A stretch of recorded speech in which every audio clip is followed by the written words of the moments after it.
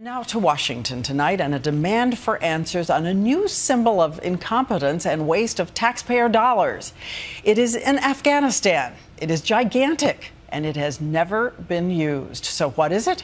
ABC's chief global affairs correspondent Martha Raddatz tells us.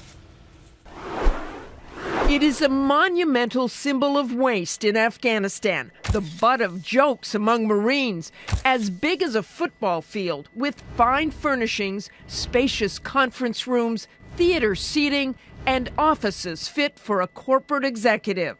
Your tax dollars, 34 million of them, at work. It's better than the Pentagon. I have never seen a building better uh, constructed than this, and we're going to destroy it. That's right. You heard the Inspector General destroy it.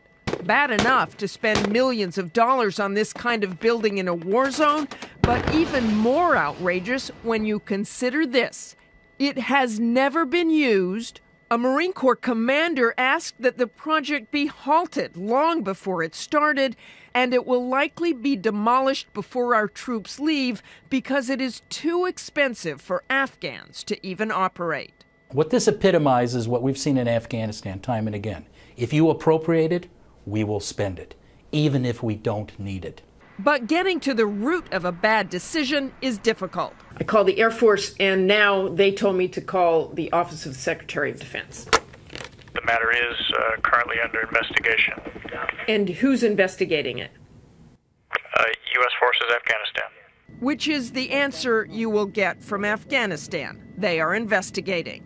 But the project is just one more example of taxpayer waste in America's longest war. We could get anything we wanted, said one officer. It was insane. Martha Raddatz, ABC News, Washington.